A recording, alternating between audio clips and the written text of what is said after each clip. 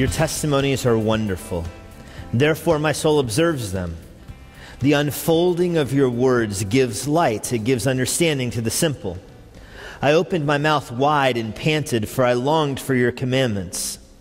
Turn to me and be gracious to me, after your manner with those who love your name. Establish my footsteps in your word, and do not let any iniquity have dominion over me. Redeem me from the oppression of man, that I may keep your precepts. Make your face shine upon your servant, and teach me your statutes. My eyes shed streams of water, because they do not keep your law. Yesterday, I was coming back from a uh, Bible study event with my daughters. Well, it was actually a father daughter pool party, um, but Bible study, just, you know and turned on the radio on, on the way back and heard our, our president speaking of, uh, he was giving his radio address about the need for military intervention in Syria, and it was essentially a, a call to arms. And this is not what I was expecting on the, the drive home. I, I turned it up, and it was clear that there was a seriousness or sobriety to his, his appeal, that he was laying out a case of horrible injustice, and that their only recourse is military intervention, drastic military intervention, going to war. And this is, I mean, this is more significant than the normal radio address. I, I turned it up, and as I'm driving, kind of fixated on the words here, I look into the back seat after a few minutes and find my daughters going to sleep. I lean over my shoulder and, and say, this is, this is important. Wake up. this is about war. Listen. And one of my daughters says, I'm tired. And the other one of my daughters says nothing, but her eyes say, I'm two years old.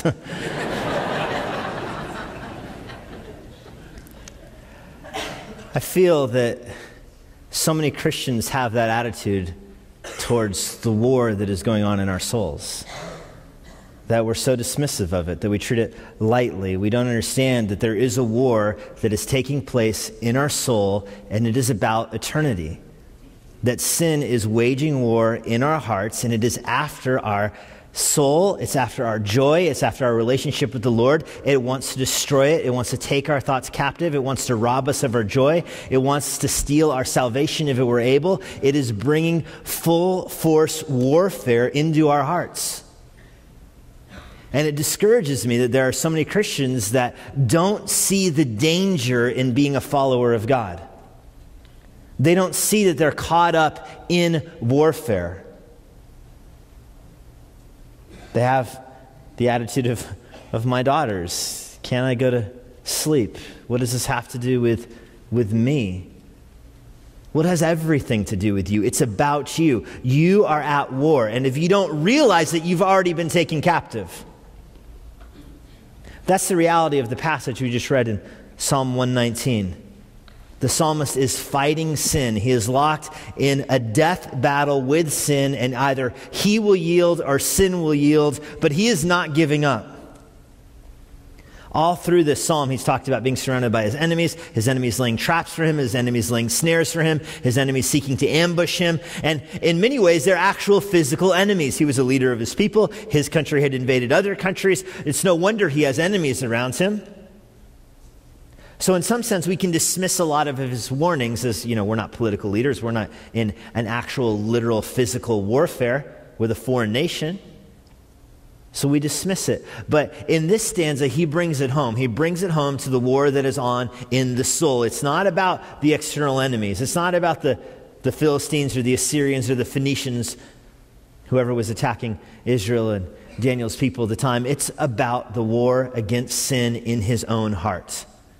And in that sense, it has complete continuity with us. This is our battle that he describes. The battle wages on. In many ways, sin was defeated at the cross. The penalty for sin was paid for at the cross when Jesus died. The, the deed of sin was nailed to the cross and it was canceled. It was ripped in two. It was paid, and there is no more penalty for sin for those who believe in Jesus Christ.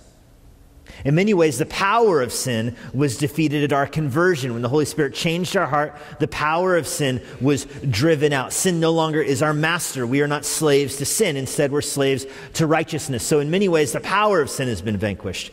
But in very real ways, the presence of sin remains.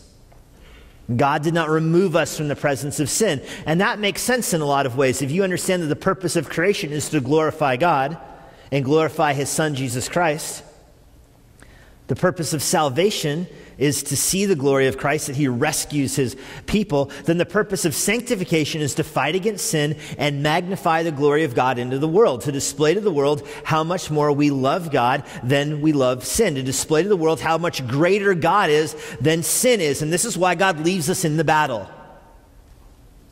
But the battle is real and it is for your soul. Let me show you how real it is. This is what Paul says in Romans 8:13. For if you live according to the flesh, you will die. But if by the Spirit you put to death the deeds of the body, you will live. Now, what does he mean with die and live? He's talking about eternity here. He's talking about eternal life. He doesn't mean if you live according to the flesh, you will die a physical death.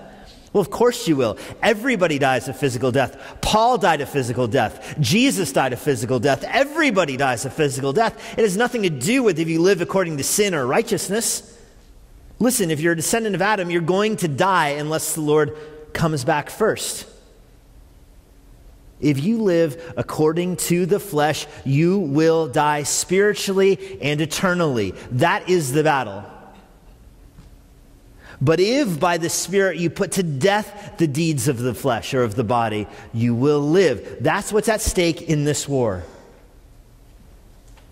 The phrase by the Spirit captures right there that you are not earning your salvation by this fight. It's Spirit empowered, grace induced combat.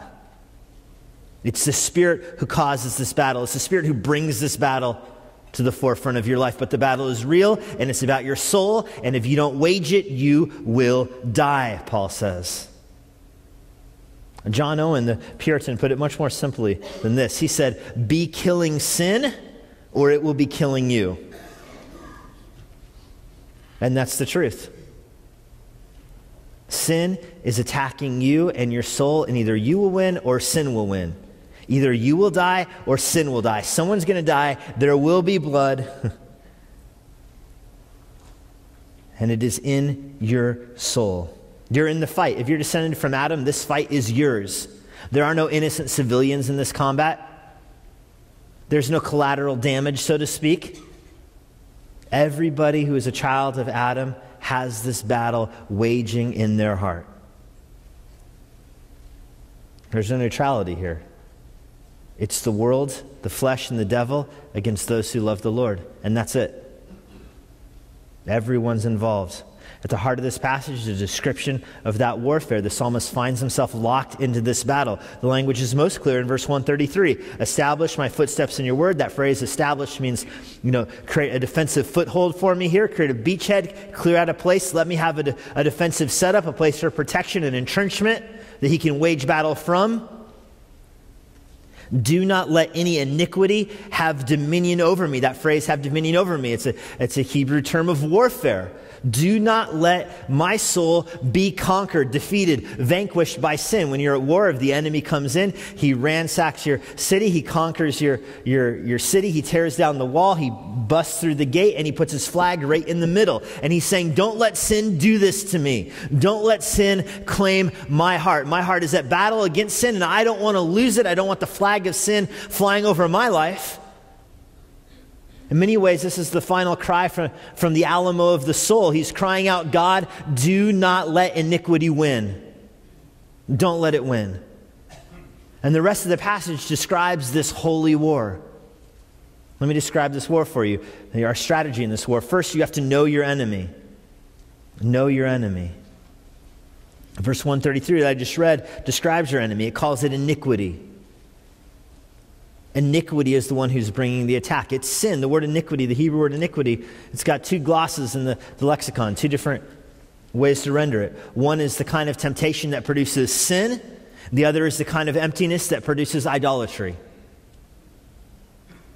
It's a powerful word. He's saying, don't let the frivolity of life provoke me to sin, and don't let the emptiness of life provoke me to idolatry. I don't want to fill my life with pleasures that are contrary to God's nature. I don't want to fill my life with enjoyments or substitutes for God.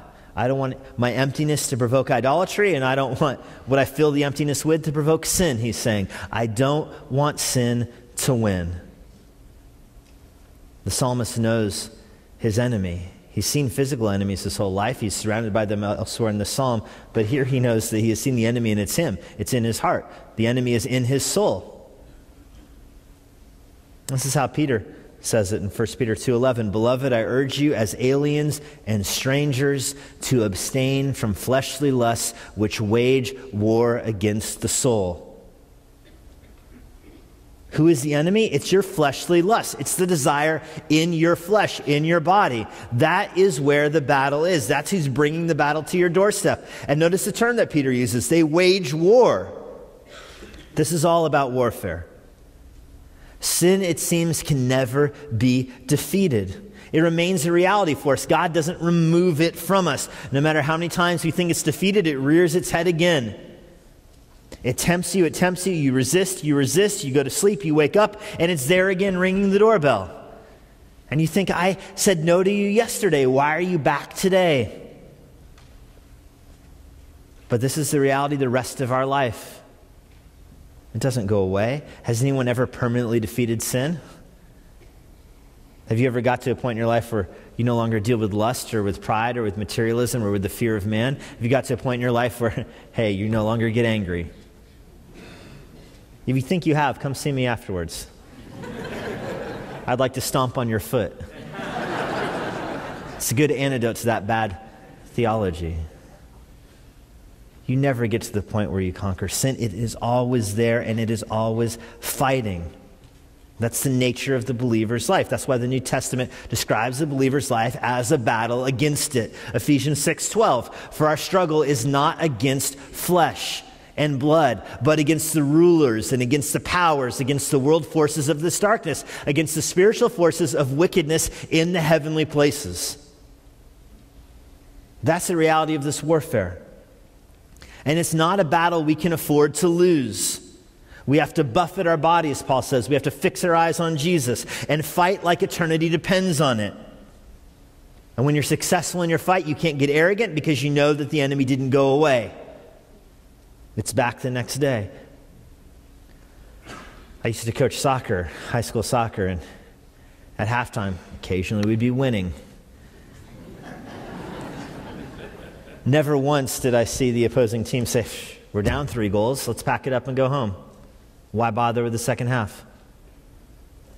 Oftentimes, if I detected arrogance in my team, I would have them look at the other team's bus. It's still there in the parking lot. There's the other team. They're not going anywhere. They're going to be back for the second half. It doesn't matter if the game is out of reach, they're still showing up.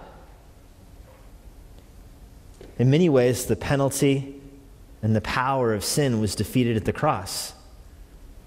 But it's still here, it's still fighting. We carry about this body of sin and death with us everywhere, and it is waging war against us. It wants to take us down. It wants to kill us. It wants to crush our joy. We can defeat it. We can kill it. We can resist it. We can think we've banished it, and we wake up the next day, and there it is, Cain like, crouched at the door with its desire to have mastery over us. And every day we have to choose to fight it. That's the enemy. Well, secondly, you have to identify the battlefield. The enemy is sin. You have to identify the battlefield. Where does this battle take place? Is it at a, a, field somewhere? Is it against people wearing a uniform under a national flag? Of course not. Our enemy is not identifiable in a photo lineup. It takes on different forms. And because of that, the Christian must know where the battle takes place. And the battle takes place in the soul, in the heart, in the mind, in the affections, or in the members of your body, as Paul says. It takes place inside of you. Wherever the battle presents itself at the moment, that's where you need to fight. It's not the same every day. Notice it's, in, it's internal, though. Look at verse 129. Your testimonies are wonderful, therefore my soul observes them. You, I've said this over and over again through Psalm 119. This is never a psalm about external obedience. He's not after outward conformity to the law, he's not after you doing things with your hand or going places with your feet. He's not after outward expressions of righteousness. He's not after you loving your, your enemies by giving to them or loving your neighbors by giving to them. He's not after you loving the, the, the least by meeting their needs. He's not after those external expressions. Those are all good things and they're commanded by Scripture. That's not what he's after. He's after the joy that is in the heart. That's where the battle takes place. He says that. Therefore, my soul observes them. He's not concerned about what his hands are doing or what his feet are doing or where his eyes are going. He's concerned about what his soul is believing. And that's the power of the Word of God. It is powerful enough to captivate the affections, to captivate the heart, to captivate the mind. That's the strength and the glory and the beauty of the Word of God. It takes the war and the victory to the soul, to the inside. Verse 131 I opened my mouth wide and panted. Another powerful word picture of the inward nature of the battle. It's describing an animal that is so desperate for water, its, its mouth is hanging open, panting and begging for water. He's saying that's the way that his soul needs God's word. That's the way that his soul needs to love God. That's the way that his affections need to be dependent upon God. That he's begging. If you don't get water, you die. If you don't get God's word, your soul withers. That's what he's saying here. It's all about the inside. You have to ID the battle at the basic level of affections. This is how James says it. James 4 1. What is the source of quarrels and conflicts among you? Is not the source of your pleasures that wage war in your members. The source of this battle is the pleasures, James says. The things you delight in, the things that you desire in your body, that is what is waging war against your soul. What satisfies you, James is asking? Sin or substance? Sin or scripture? Who do you want to please, God or man? What's your motivation? Do you receive pleasure from sinful things? That's the question. And the truth is, you have to fight for what you love. You can tell the worth of a person by the worth of the objects they love. A silly person loves silly things. A sinful person loves sinful things. And a godly person loves godly things. It really is that basic. Your affections define you. Your emotions define you. The things that you love, the things that you delight in, define you. And that's exactly why the battle takes place inside. It's all about getting you to love the right things. And that's why God's word is so powerful, because it can alter the emotions. What if a friend of mine was murdered? And what if I took the knife that killed him and put it on my wall in a frame and admired it every day, leaving the blood stains on it? What if I befriended his killer? We chatted every afternoon. We went for walks together. We became friends. Would you not rightly think that I was a co conspirator? Wouldn't you rightly think that I was involved with the murder in some way? How could I be friends with the one who did this? Do you recognize that when you have pleasure for sin, that that's what you're doing? That sin killed Jesus Christ and you're harboring the very knife that slew him, you're harboring that in your heart and you're delighting in it? You cannot be entertained by that for which Christ was crucified. Sin is not for entertainment value. And that's the way the war works. It goes into your heart. And listen, this is the next stage of that war. The very knife that you keep on your wall is exactly what the devil will use to kill you. You cannot be entertained by that for which Christ was crucified. You cannot love sin and build up a delight for it and an immunity for it in your hearts because it will corrupt your pleasure. It will corrupt your pleasure. Better to find a hole that stretches to the middle of the earth and cast the knife into there. Be done with it.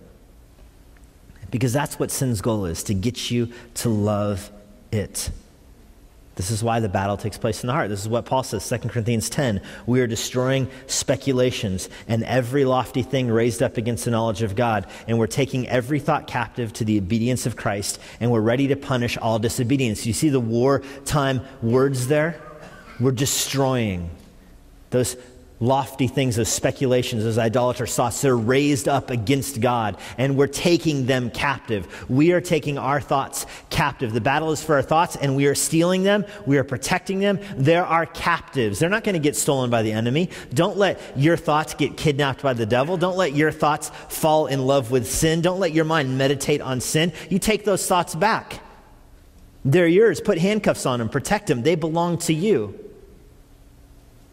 When you do that, you punish disobedience, you drive it away by guarding your thoughts. You think about what is pure, you think about what is true, you think about what is noble, you think about what is praiseworthy, you think about what is righteous, you think about what is pleasing to God. That's how you guard your thoughts.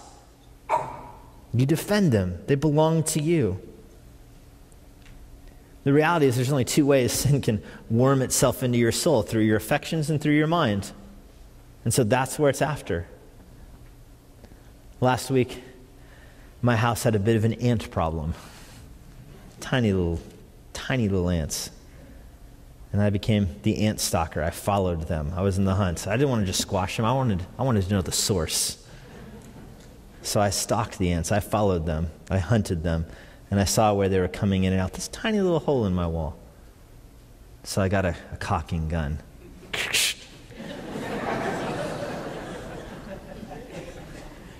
And I filled every single hole in every wall. I became obsessive about it, hunting. Looks like a Dalmatian shook everywhere in the house. I don't expect the ants to go away. They'll find another hole, and you know what? I'll find them there. Bring it, ant. Sin is trying to worm its way into your affections. You have to find where it's coming from. You have to find what is taking your thoughts away, what is taking your joys away. You have to find where it's worming its way in, and you have to bring the battle there. Cut it off. Close those thought patterns. Close those pleasures. Get rid of them if they're causing you to love sin. Get rid of them if they're causing you to think about sin. Take the battle to where the sin is entering in. That's the way this is played. That's the way this fight is won. There's more at stake in this than your kitchen. This is how Paul says it in Romans 7:23, I see a different law in the members of my body, waging war against the law of my mind and making me a prisoner of the law of sin which is in my members. Listen, if you lose this battle, you won't just find your thoughts captive by the enemy, you yourself will be held captive. That's what Paul says. It's making me a prisoner of the law of sin, which is worming its way in through his body. Well, you don't just have to know the battlefield, you have to also take your weapon. Take your weapon. We're not unarmed in this battle.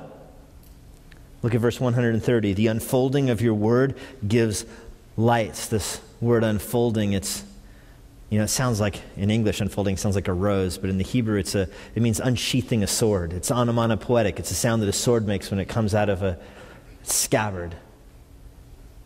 Shunk. And what is unfolded? The sword of God's word. You bring out God's word and it radiates light. What a powerful word picture. The sword comes out, the light shines into the world. The unfolding of your words gives light.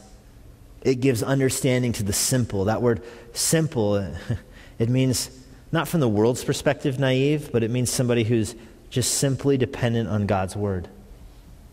He's simple concerning evil. He doesn't want to think about what's evil because he, he wants to be innocent concerning evil, is how the New Testament says it.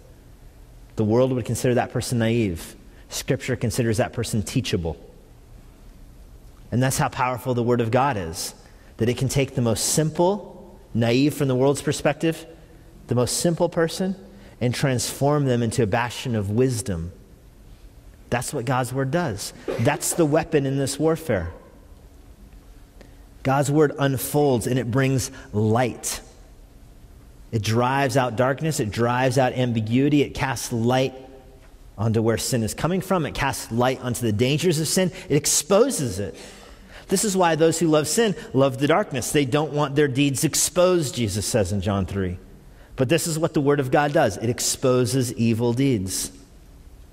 The psalmist is here in battle and he's calling in an airstrike of light. He wants light to come in. This is the, the weapon that we have. It's God's word. Look at verse 135. Make your face shine upon your servant. Now it's God's own countenance that is giving light, giving light to those who serve him, those who are God's slaves. He lights their path. It's the very luminescence of God he's asking for. He wants to be a beneficiary of God's own illumination, asking God's face to shine light on him. This is how Paul says it, 2 Corinthians 10:3. We do not war according to the flesh. Again, the war language. For the weapons of our warfare are not of the flesh, but divinely powerful for the destruction of fortresses. This is the scripture Paul's talking about. That's our weapon. We take our thoughts captive with it, we meditate on scripture, we guard our affections with it by filling our joy with scripture. And that really is the theme of Psalm 119 over and over and over again. The longest chapter in the Bible is a chapter about the Bible. The longest poem in the Bible is a poem about the power of God's Word. It's an acrostic of 22 stanzas, all 22 letters of the Hebrew alphabet, eight verses for each letter, A to Z, over and over and over again. Almost every single verse is about the power of God's Word. Look at the one before us this morning, verse 129. Your testimonies, God's Word, are wonderful. The unfolding, verse 130, of your words gives light. Verse 131, he's panting for your commandments. Verse 133, establish my footsteps in your word. 134, I want to keep your precepts. 135, teach me your statutes. 136, they're not keeping your law. It's all about God's word. That's what the weapon is. The psalmist is saying that he needs God to give him light so that he can use God's word. In other words, he's going into this, this battle knowing he needs God to give him his word. That's what he's begging for. Well, not only do you have to use your weapon, you also have to know your ally. You have to trust your ally. Put confidence in the person you're aligned with. You're not in this battle alone, you have an ally on your side. Verse 129 gives us a hint of this. Your testimonies are wonderful. That word wonderful means outside of our experience. They're supernatural. They're outside of the human world of experience. God's word is in many ways outside of its creation. He condescends to us. He gives us his word in human language so that we can understand it. But we know that it speaks a truth that is outside of God's creation. It's a supernatural revelation to us. When you believe the Bible, you're not carried along by cleverly invented tales.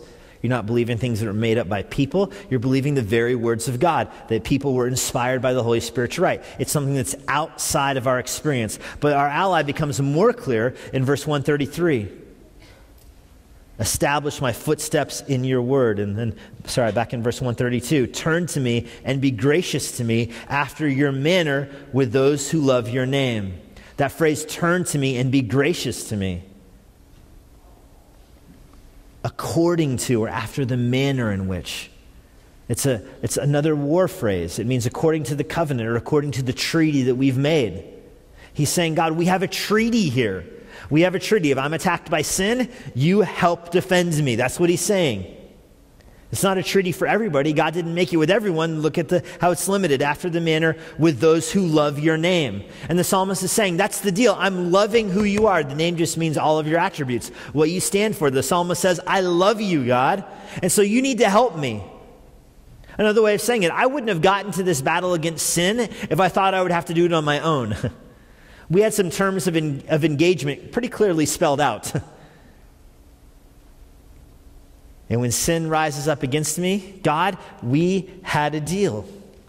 You would come defend me according to the way that you always respond to those who love you.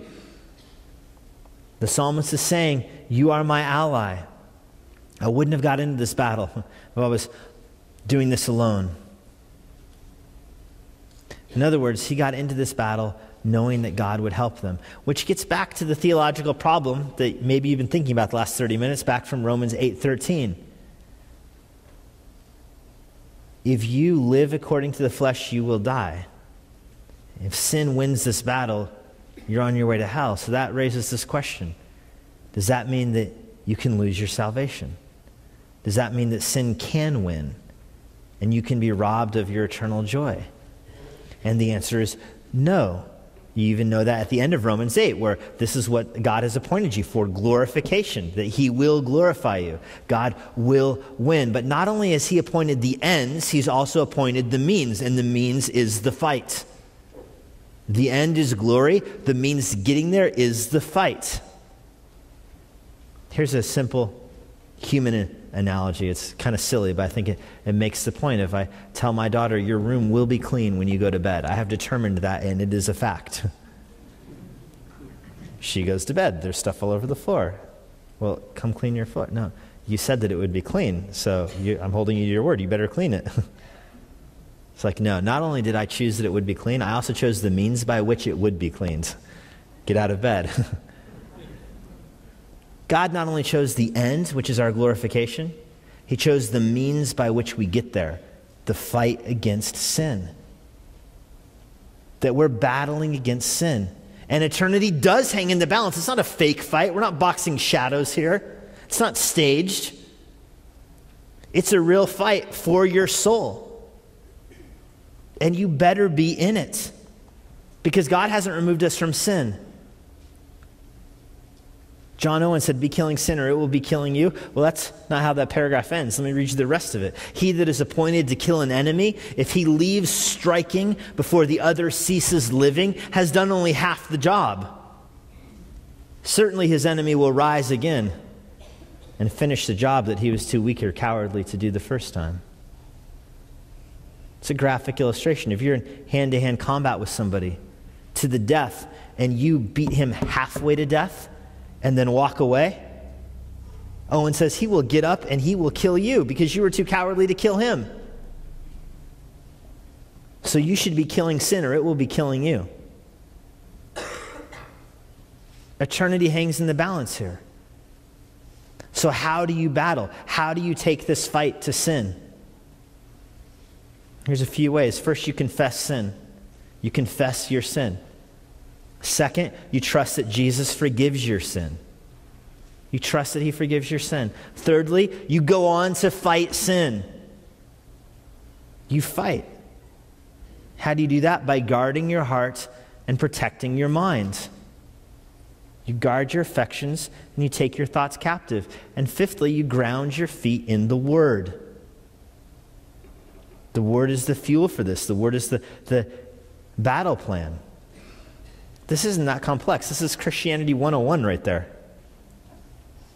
But you can't tap out after number two. You can't confess your sin, trust Jesus to forgive sin, and go home and put your feet up because the war is real. You should know where you're tempted by sin. You should know where the battle is waging in your heart right now. Because if you're ignorant of it, that's bad news. If you're ignorant of it, it tips the hands that the, the enemy has a foothold. You have to drive it out. Be done with it because the Lord has forgiven us of it.